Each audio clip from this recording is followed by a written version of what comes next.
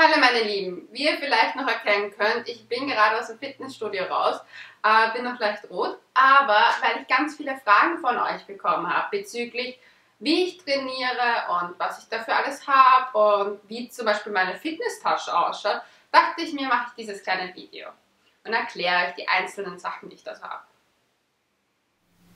Also, das erste Produkt, was ich euch vorstellen möchte, beziehungsweise Gadget, wie man es auch immer nennen möchte, ist dieses Pilates-Board oder Platte, wie ich sie nenne. Das kam mit so einer Unterlage, äh, die ich aber nie verwende, weil ich immer meine Yogamatte verwende als Unterlage. Ähm, hier aber auch mache ich meine Balanceübungen beziehungsweise so ein paar Pilates-Übungen. Ich bin kein Pilates-Fan, sag ich gleich. Ich mache nur einzelne Sachen davon und sonst mache ich eher so Bodywork-Zeug. Aber dafür ist sie ganz gut und ich habe sie bei Biathletica bestellt. Ich schreibe euch die genaue Adresse noch in die Infobox und falls ihr interessiert seid, ein paar dieser Übungen kennenzulernen, lasst mir doch ein, hinterlasst mir doch einen Kommentar. Ich würde mich extremst freuen. Und ja, auf geht's zum nächsten. also, was habe ich noch? Ich habe hier alles vorbereitet. Das könnt ihr jetzt nicht sehen, hier ist das pure Chaos. Aber ja, das zweite sind diese Handeln. Ich weiß gar nicht, wo ich die her habe. Ich glaube, die hat mir meine Mutter vor 100 Jahren mal zum Geburtstag oder zu Weihnachten geschenkt. Ich habe sie dafür gehasst, weil ich mir gedacht habe, was mache ich mit so einem Scheiß? Jetzt bin ich ein kleiner Sportfreak geworden. Und ja, das sind meine 1,5 Kilo Hanteln. Ja, ich weiß. Ich bin gerade aus dem Fitnesscenter draußen. Ich bin noch ein bisschen K.O. Aber ich trainiere meistens mit so 1 Kilo, wenn es um Bodywork und also Ausdauer und Kraft geht, gemischt. Wenn ich nur Kraft mache, greife ich dann schon zu 2, 3 Kilo, weil ich wirklich nicht so ausgeprägte Muskeln haben möchte, besonders nicht bei den Oberarmen, weil ich finde das bei Frauen manchmal sehr unattraktiv, muss ich leider ehrlich sagen. Deswegen versuche ich eher niedrige Gewichte und dafür das auf eine längere Dauer, also auf Ausdauer. Ihr wisst schon, was ich meine. Gut, das nächste ist ja, ich hasse eigentlich Videos drehen, weil ich mir dann immer denke, was erzähle ich euch? Ihr sitzt ja nicht vor mir, es ist sehr merkwürdig. Aber irgendwie finde ich es schön, weil mir Leute immer wieder fragen, was ich so mache. Und ich finde das dann blöd, das einfach in einem Text zu verarbeiten. Und deswegen finde ich diese Videosache eigentlich echt cool und toll und freue mich jedes Mal, wenn ich es mache. Nur eskaliert das bei mir, dass ich nie was wann ich mal einen Satz zu Ende reden sollte und am besten mal aufhören sollte, zum Beispiel jetzt dann einfach weitermachen mit dem, was ich geplant habe. Na gut, nächstes Gadget ist meine Trinkflasche. Und ja, ihr werdet jetzt denken, hä, Trinkflasche, ganz normal? Nein, diese ist auch von ähm, äh, Biathletica und ich bin verliebt in sie. Sie ist diese von Contigo, heißt die, das, die Firma. Und man drückt erstens, drückt man hier einfach drauf so. Und dann kommt so ein Schnabel raus, mit dem trinkt und man muss sie nicht mehr kippen, weil hier ein Strohhalm drin ist. Das heißt, man kann einfach so sich erfrischen. Und was ich noch an ihr mag, dass sie mehr als 500 Liter ähm, also beinhaltet. Also man kann insgesamt 24 O's, OZ, however you wanna call that, wieder, ähm, anfüllen. Und ja, ich liebe sie. Ich bin jetzt schon sehr farblich passend da unterwegs. Also eines meiner Lieblingsgadgets. Das war auch das, was ich mir als, glaube ich, als erstes, nachdem ich diesen 3-4 Monats Fitnesswahn hinter mich gebracht habe, habe ich gedacht, okay, ich brauche eine neue Trinkflasche, weil dieses Dauern, dieses Kippen, ich mag das, ich schütte mich da die Hälfte der Zeit an, weil ich bin auch sehr tollpatschig, deswegen auch das Balance Board, damit ich mehr Körpergefühl etc. bekomme.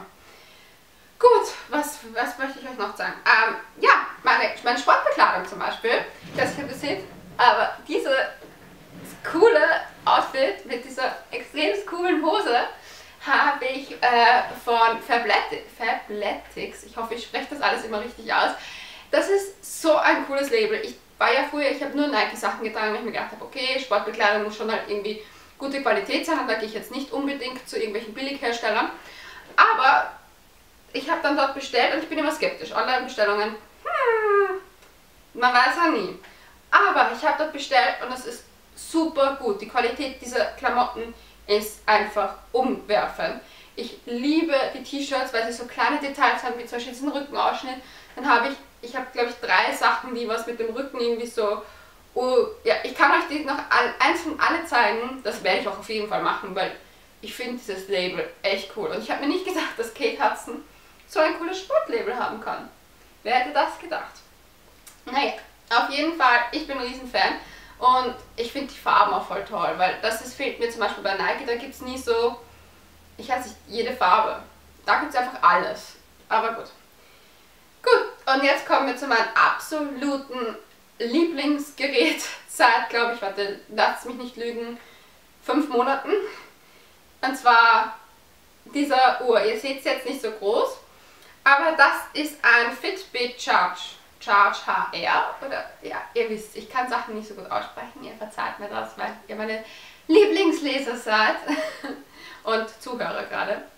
Ähm, auf jeden Fall, das ist so ein Armband, eine Armbanduhr mit dem ganzen, wo man Herzfrequenzen messen kann. Ähm, dann meins ist sogar so weit, dass man, wenn mich jemand anruft, kann ich das zum Beispiel auch sehen, dass ich einen Anruf habe. Ein Schrittzähler ist dabei und all diese kleinen Details, die so ein Gerät haben muss. Ich habe das am Anfang eigentlich nur verwendet als Schrittzähler aus dem Grund, weil ich mir gedacht habe, ich möchte gerne wissen, gehe ich wirklich 10.000 Schritte am Tag. Und ja, ich gehe sogar 20.000 zum Tag, was relativ viel ist, weil jetzt sich denkt jeder, also es wird sich ja wahrscheinlich nicht jeder denken, ja, mache ich doch auch. Na, denkst du. Wenn du in einem Büro sitzt, zum Beispiel einfach sagen wir mal 8 Stunden, gehst du maximal 4000 Schritte. Außer du gehst echt oft zum Drucker, was die wenigsten machen. Es ist mir aufgefallen, wenn ich meine Bürotage habe, dass ich super wenig Schritte gehe. Also es sind 4000, 5000 herum, maximal 6000, kommt drauf an, wie ich am Abend was ich mache. Aber dadurch, dass ich jetzt versuche, einfach wirklich diese 10.000 Schritte durchzuhalten und durchzuziehen und da hilft mir dieses Armband extremst. Und es, also klingt blöd, aber ich finde, das ist der erste Schritt in die richtige Richtung, wenn man sich bewegen möchte. Und ja, ähm, zu dem Gerät ist noch eins zu sagen, äh, dass es eine App dazu gibt. Man kann das natürlich auch mit seinem Laptop, der steht jetzt da hinten bei mir, kann man das verbinden, aber ich mache das voll gerne mit meinem iPhone. Und zwar habe ich da einfach, gehe ich in die App rein und das mit Bluetooth synchronisiert sich und dann kann ich zum Beispiel total, total, ähm, sehe ich halt eine Auswertung, wie zum Beispiel, wie viele Schritte ich gegangen bin, wie meine Herzschläge pro Minute waren, wie viele Kilometer ich zurückgelegt habe, wie viele verbrannte Kalorien und wie viele Etagen ich gegangen bin, also wie viele aktive Minuten ich generell hatte, weil man kann nämlich auch sein Training aufzeichnen, indem man einfach länger drauf drückt, dann misst das nur die Trainingssache, so kann man auch genau sehen, okay, was sind die Erfolge im Training, wie ist die Herzfrequenz da, ist sie zu hoch, etc. Zum Beispiel meine sollte nie über 155 kommen.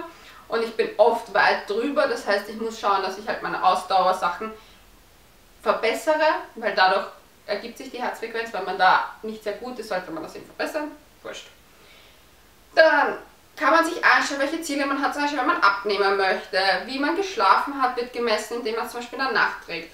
Dann kann man so die aufgenommenen Kalorien eingeben. Das heißt, du kannst sagen, okay, ich habe heute in der Früh eine Banane und Toast gegessen, einen Kaffee getrunken und das zählt dir dann alles zusammen. Und eben auch wichtig, wie viel Wasser man zum Beispiel getrunken hat, weil das ist zum Beispiel was, was ich sehr oft auch vergesse, dass ich trinke, während ich vom Computer sitze. Und ja, ich kann von dieser App und von diesem Gerät einfach nur schwärmen. Die gibt es in verschiedenen Arten, also es gibt relativ günstige, die einfach nur eher Schrittzähler sind und meine ist halt dann schon fast eine Stufe zu diesen professionellen Geräten nehmen, die wirklich auch Trainingssachen etc. messen. Ähm, ja, ich schreibe euch auf jeden Fall den Link wieder in die Infobox und ich kann das jedem empfehlen, der einfach, ich weiß, ich bin ein kleiner Control-Freak, ich brauche sowas. Und wer auch so ist, der wird das lieben. Und ja, was ich gut finde, ist, man, dass man sieht, man einfach, man kann Wettkämpfe nämlich machen mit anderen Usern. Das finde ich super cool. Und Freunde einladen etc. Sein Konto. Ach, es, man kann seine Ziele hochstecken. Die Trainingserfassungen. Ich bin, also, ich bin ein Riesenfan. Wie gesagt, drehen wir es mal weg. Und ja, also ich glaube, ich, glaub, ich würde einfach nicht mehr ohne diese Uhr leben wollen. Weil ich war früher überhaupt kein Mensch, der Uhren getragen hat. Mir war das auch am Anfang voll unangenehm. Aber ich habe mich so daran gewöhnt, man sollte nämlich auch alle vier Tage, drei Tage mal abnehmen und einfach mal auch ruhen lassen. Man sollte nicht damit in die Dusche gehen, weil sich die Haut auch beruhigen muss, weil es wirklich sehr stark ähm, an der Haut anliegt. Ich kann euch das mal sagen, wenn ich es aufkriege. Das ist auch das Gute, es geht nicht sehr leicht runter. Es gibt auch einen leichten Abdruck und hier liegt halt diese Fläche eben auf und misst das alles. Die muss aber auch wirklich eng anliegen.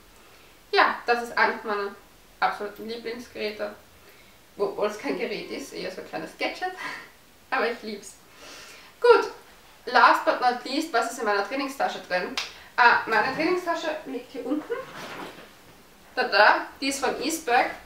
Ich finde ich super praktisch, weil ist relativ groß. Was ich drin habe, sind meine Nike Trainingsschuhe und ein Fossen Handtuch.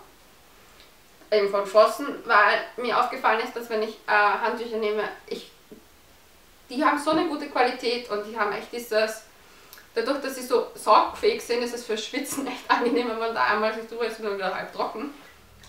So, meine Lieben, das war's mit meiner kleinen Vorstellungsrunde. Ähm, falls euch das Video gefallen hat oder ihr irgendwie Anregungen habt, lasst es mich wissen mit einem Daumen hoch oder einem Kommentar. Es würde mich auf jeden Fall freuen, wenn ihr meinen YouTube-Kanal abonnieren würdet. Und ja, bis ganz bald.